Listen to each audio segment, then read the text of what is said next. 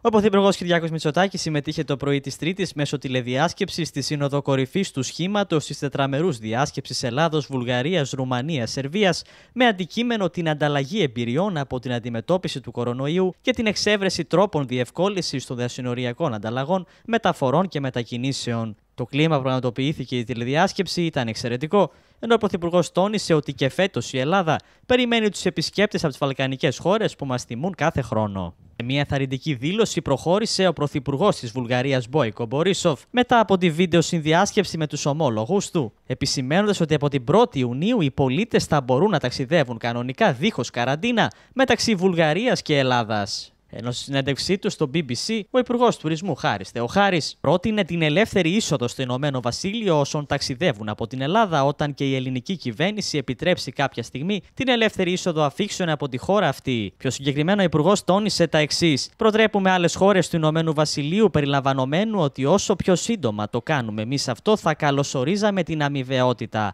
Άρα, αν δεν επιβάλλουμε καραντίνα για ανθρώπους που έρχονται στην Ελλάδα από το Ηνωμένο Βασίλειο από κάποια μέρα και μετά, θα το καλωσορίζαμε αν το Ηνωμένο Βασίλειο έκανε το ίδιο. Μάλιστα για την οικονομική βοήθεια των επιχειρήσεων και πόσο μάλιστα των επιχειρήσεων εστίασης αναφέρθηκε μέσα από την εκπομπή αναλυτής του ένα Channel με τη Γιώτα Χατζηθεοδόρου, ο Υπουργός Ανάπτυξης και Επενδύσεων Άδωνης Γεωργιάδης.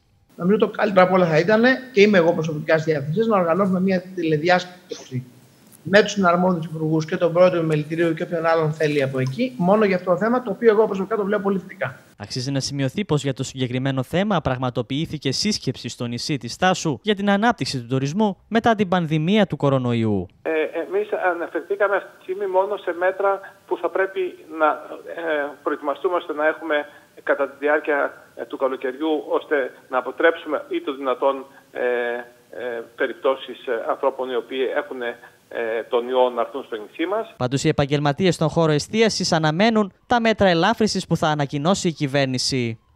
Σίγουρα ένα πολύ θετικό βήμα το οποίο περιμέναμε όλοι με μεγάλη αναμονή.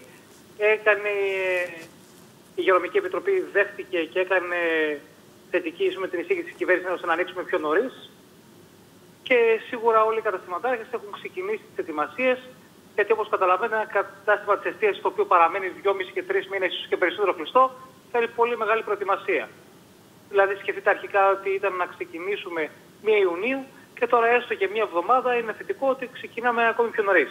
Βλέπουμε θετικά την, την ανακοίνωση του Υπουργείου ότι τα καταστήματά μας ανοίγουν μία εβδομάδα νωρίτερα, δηλαδή στις 25 Μαΐου. Ε, ήταν κάτι ανέλπιστο για μας. Είναι στις θετικές εξελίξεις.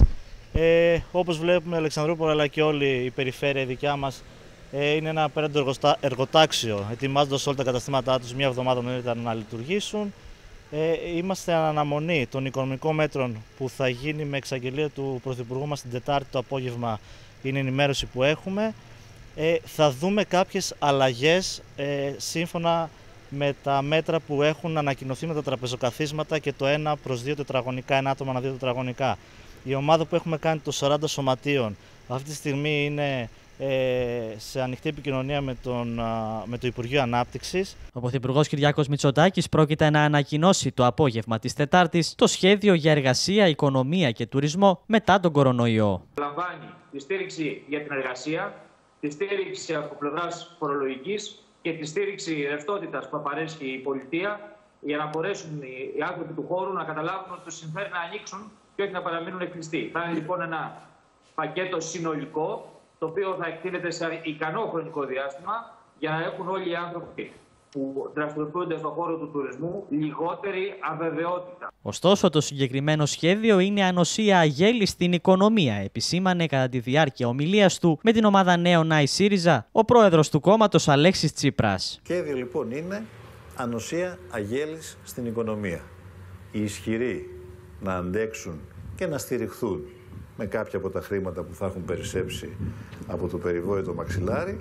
Όσοι δεν θα έχουν τη δυνατότητα να επιβιώσουν, δυστυχώς θα κλείσουν και τη θέση τους θα καταλάβουν οι ισχυροί. Το σχέδιο μάλιστα για την ελάφρυση των μετακινήσεων αεροπορικός αλλά και μέσω πλοίων θα προβλέπει άνοιγμα των συνόρων από 15 Ιουνίου μέχρι και την 1η Ιουλίου αναλόγως των επιδημιολογικών δεδομένων και σε επιβάτες από χώρες της Ευρωπαϊκής Ένωσης, τη ζώνη Σέγγεν αλλά και το Ισραήλ δεν θα γίνονται υποχρεωτικά τεστ ενώ οι ταξιδιώτες δεν θα μπαίνουν σε καραντίνα. Αξίζει να σημειωθεί πάντως πως η αεροπορική εταιρεία Ryanair ανακοίνωσε ένα πρώτο πρόγραμμα πτήσεων στην Ελλάδα για το φετινό καλοκαίρι. Η καβάλα φαίνεται πως δεν υπάρχει σε αυτό, ενώ στο πρόσφατο παρελθόν καταβάλλονταν σχετικές προσπάθειες, όπου είχαν ως αποτέλεσμα αρχές Ιουνίου η εταιρεία να συνδέει την καβάλα με τη Ρουμανία. Ε, κοιτάξτε, όντως υπάρχει ένας προβληματισμός, ε, τουλάχιστον εδώ για την περιφερειακή καβάλας ε, και Θάσου.